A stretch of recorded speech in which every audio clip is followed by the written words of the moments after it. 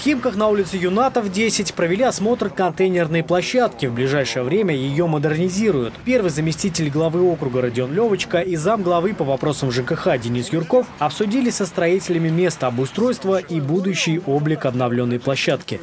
Две вот такие большие. Друг напротив дружки. Да. Контейнерную площадку огородят, сделают новый каркас, увеличат количество баков. Все работы планируют завершить к середине ноября. А всего в течение года по просьбе жителей уже обновили два десятка площадок. Свои заявки люди оставляли в рамках выездной администрации, которые проходили во всех микрорайонах округа.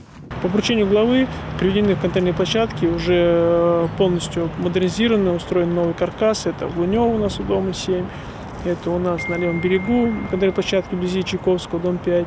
Там, где непосредственно в рамках приема приходили жители. Всего в Химках 875 контейнерных площадок. За последние два года модернизировали более 100 из них. Александр Сергеев, Вильфрид Дымковский, Новости Химки ТВ.